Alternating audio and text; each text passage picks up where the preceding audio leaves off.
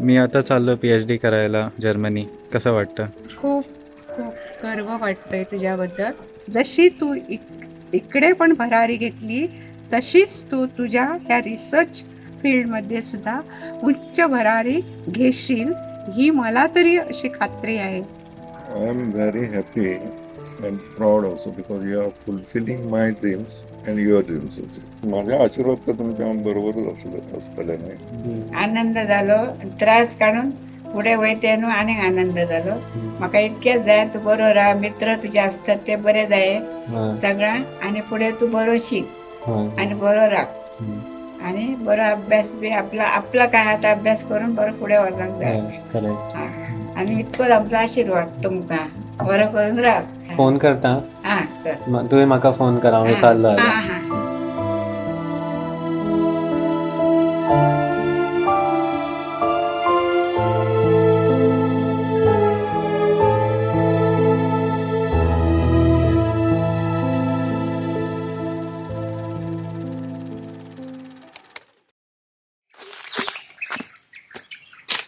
Hey, hi. I hope everything is working fine and you can see me and hear me properly. So now that we have found a, a nice quiet place where we can just sit and discuss, uh, hi, hi guys. I'm Hrishikesh Shetgaonkar from Goa. I'll be joining the University of Würzburg for my PhD studies in astrophysics. Uh, so this video is basically to capture my journey from India to Germany. I have been interested in astronomy since my childhood and I think that's the case for everyone. So astronomy after all is one of the older science and we are naturally inquisitive about the mysteries and workings behind the universe. While I was in school I used to watch these documentaries on National Geographic and Discovery Channel on the universe and black holes etc. And I used to throw around these complex words like neutron stars, space-time, relativity, etc. just to show off.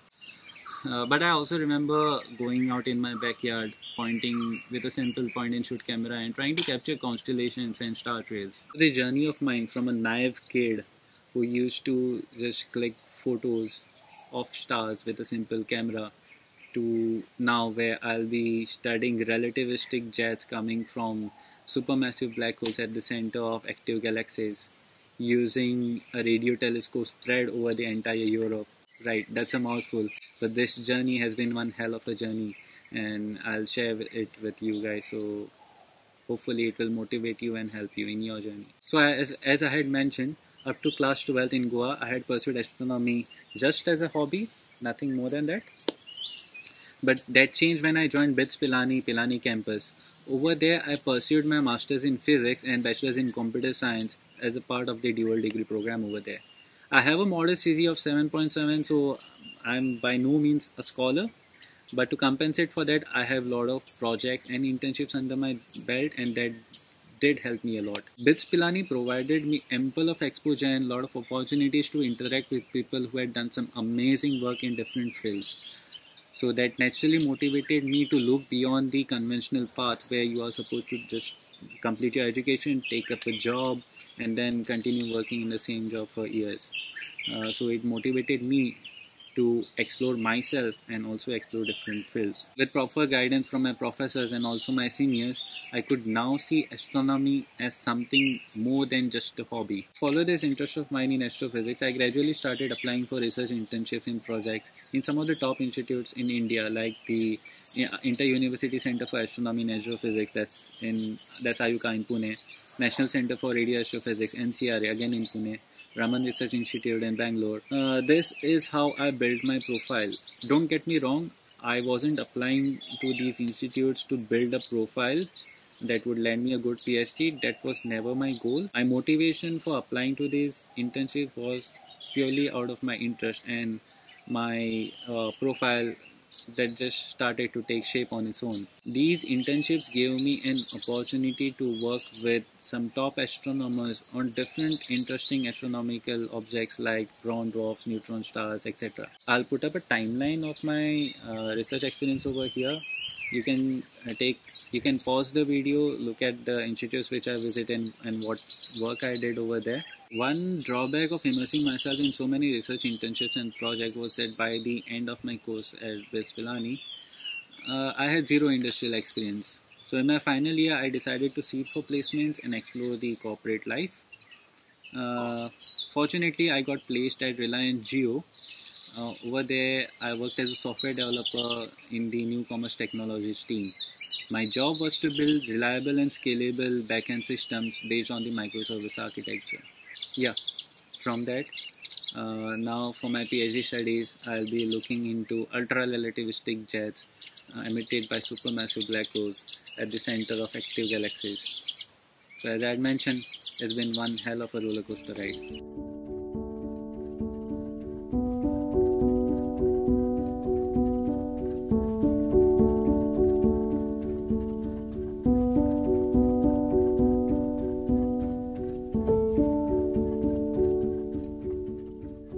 Just finished submitting my documents at VFS Mumbai. Uh, after that, I just came to Marine Drive, which is probably the most famous place in Mumbai. It's I had planned to make the video over here, but it's pretty noisy out here, so we'll move to a quieter place and I'll explain the entire process over there. But before we leave, I found probably the best fountain at uh, Marine Drive. Ta-da. The visa process for me was long and tedious. After my PhD offer was confirmed in second week of November, I took uh, some days to confirm the visa application process, talk to people, and finally booked an appointment on 28th of November. Then I didn't hear anything from VFS for the next three months. I was a victim of their really messed up appointment system. Anyways, I finally got an appointment on February 2nd the process went well there were lots of documents which i had to submit and i would advise you to talk to people uh, beforehand who have gone through the same process for the same visa category at your application center uh, apart from that everything else went fine and just in a week i got my visa so that was really fast Hey, hello again. So yesterday on 9th Feb, I got a mail from VFS that my visa has been processed and they have dispatched the parcel. So today I received the parcel. I'm hoping this is the approved visa and given that I had submitted the documents at VFS Mumbai on just 2nd February, I got this just within 8 days. So yeah, I think the process was pretty fast after submitting my documents.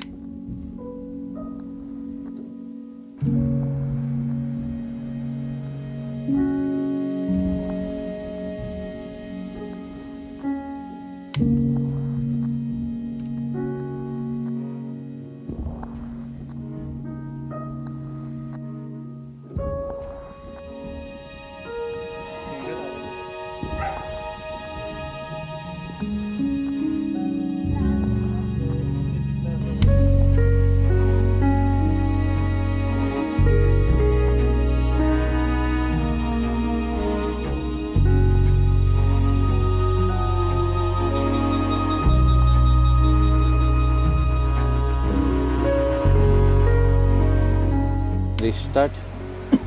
Today is 5th March, exactly a week before I fly to Germany on 12th. And I've already started experiencing a plethora of emotions. It's been exactly two years since work from home has started due to the pandemic. And obviously, I'll miss spending time with my family.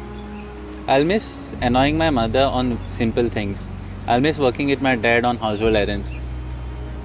I'll miss the musty that we do with Bhaiya and Bhabi. I'll also miss con- constantly being bitten by Robin and being scratched by Peru. Obviously, I've grown very fond of them over the pandemic and they are like my children. I'll also miss Goa. It's really beautiful. Probably not the humid weather, but I, I will miss the sun. I have a rough idea of the destination of where I want to go, but I have never been there. I have talked to other people who have hiked in a similar terrain and I have prepared myself accordingly. I know I'll find fruits and water on the trail, but for backup, I have carried my own food and water. I also have mapped with a GPS in the form of parents, teachers, professors, guides who will ensure that I'm not lost at any point. I'll also meet other hikers going on their own trails and will enjoy the time that we get to spend together. Sometimes I'll lose the GPS signal. Sometimes I'll slip and fall. But I need to pick myself up and continue this journey with small steps at my own pace. And this journey is very subjective and personal. Your journey would be different from mine. Our destinations are different. की बाबा एवढं छान job आमच्या वेळी तरी आम्ही सोडून दुसरीकडे jump मारली नसती पण तू ही रिस्क घेतोस म्हणजे तुझा तुझ्यावर विश्वास आहे. तुझ्या आडवकर कष्टावर तुझा विश्वास आहे आणि माझा पण विश्वास आहे की तू ते साध्य करणार. जीवनात कुठचीही रिस्क घेतल्याशिवाय उंच भरारी मारू शकतच नाही. कोणी असू ते रिस्क घ्यावीच लागते. डीप व्हॅली आहे तिथं उंच डोंगर पण असतोच. Yesterday I went to meet my nani, but my mama was not there. So uh, my mama came over here to meet me before I went. So here is my mama. Hello. Hello hi So mama, Yeah. how वयता आता Germany? So कशें दिसता तुमकां? एकदम best खूप आनंद झाला अं, शब्दांत सांगूंक अं, शक्य ना so I hope and I pray to the God that everything you will you will enjoy your studies your research and one day you will shine like a sun okay and out of that sun, whatever the energy uh, comes out, it will be helpful for the society. That is what I mean to say. Right. Right. So thank you. Thank you. Thanks a lot. God bless you.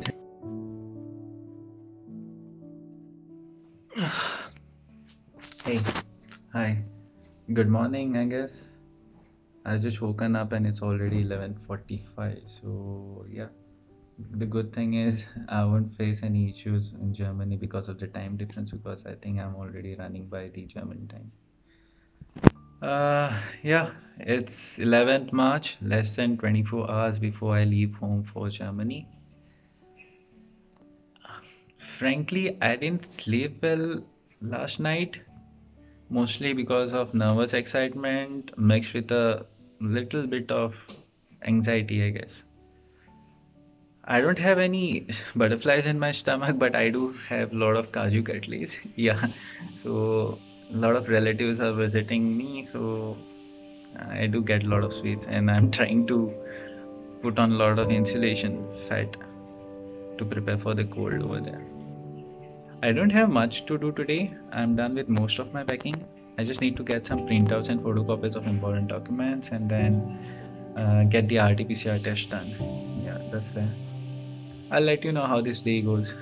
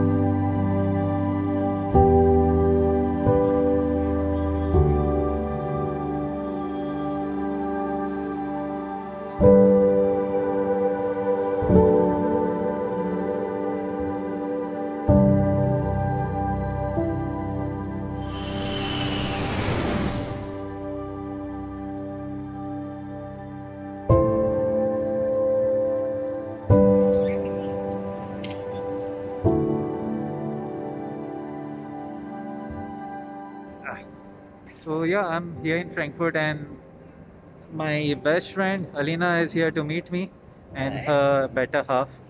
Sorry for missing your wedding. I mean, it was in Kerala and it was during a time when Kerala was on fire due to COVID. So Yeah. yeah.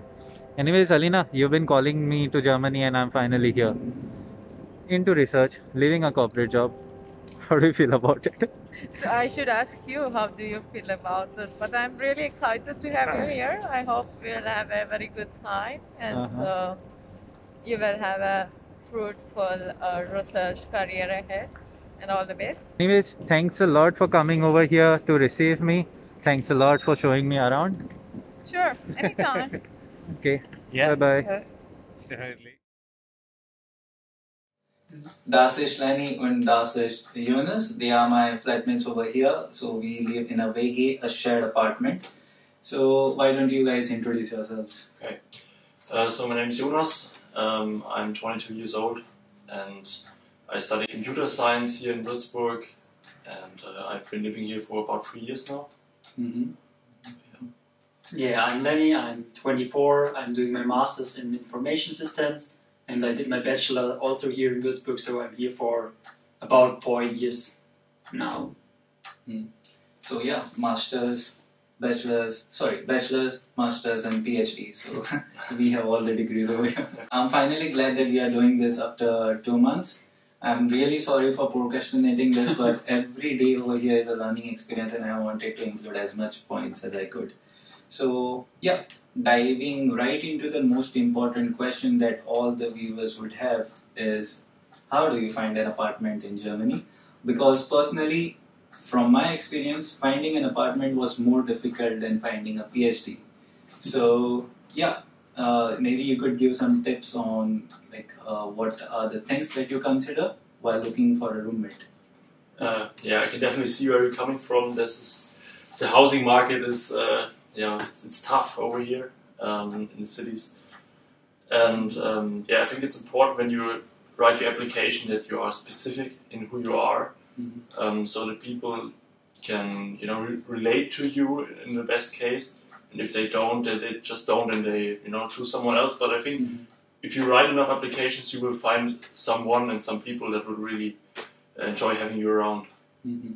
Yeah, but it's also quality over quantity. So write some good applications with a personal touch. Read the offers really carefully, the descriptions, because we put a secret question mm-hmm. in our offer where, where we ask for the favorite color of the people. So if they don't read our description and just copy paste their applications, we mm-hmm. don't consider them as mm-hmm. future flatmates.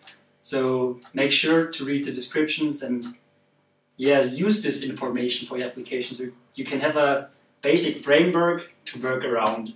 And then I think that's the best way to introduce yourself to other people. When you just shift over here, it's a new city with uh, a new language. So you would be uh, like you would tend to stay alone in your room. Do not do that. Just get out, go for a walk, uh, hang out with your roommates, hang out with the people at the institute. It helps just to talk to people, just to socialize. So to quote Carl Sagan, one of my um, role models and a very famous astronomer, he says that the only thing that makes this emptiness bearable is each other. So follow his words, socialize. Hey folks, thanks for watching the video. This journey of mine has been truly amazing. Hope you enjoyed this journey with me and I hope this helps you in your journey as well. Good luck. If you have any doubts, any comments, feel free to reach out to me directly on my Instagram underscore guy behind the lens and you can also comment down below. Ciao. Benvenuto Alemania. Servus Rishi. Ciao Rishi, benvenuto. Ciao Rishi, benvenuto in Germania. Salut Rishi, bienvenue.